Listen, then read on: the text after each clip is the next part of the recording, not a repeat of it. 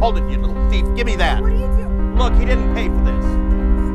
Yeah, yeah, I'm so sorry, you little thief. Get out of here.